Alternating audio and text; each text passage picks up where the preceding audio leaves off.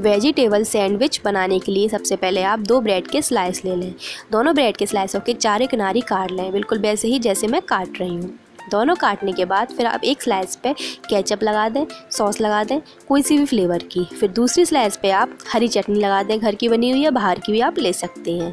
फिर आप ये ही हरी चटनी वाली स्लाइस पे पटेटो यानी आलू, टमाटर और खीरा और ओनियन आप रख दें। जो भी आप पे वेजीज़ अवेलेबल हों, आप वो सारी वेजीज़ रख सकते हैं। क्वांटिटी आप अपने हिसाब से रख सकते हैं, जितनी आपकी ब्रेड की स्लाइस बड़ी हो।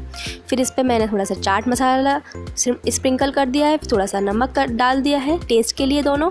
फिर हम दूसरी स्लाइस थी हमारी, सॉस वाली, उससे कवर कर देंगे।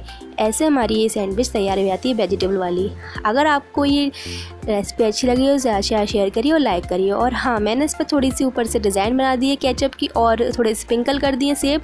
आपको जो पसंद हो, आप वो डिज़ाइन बनाइए और खाइए।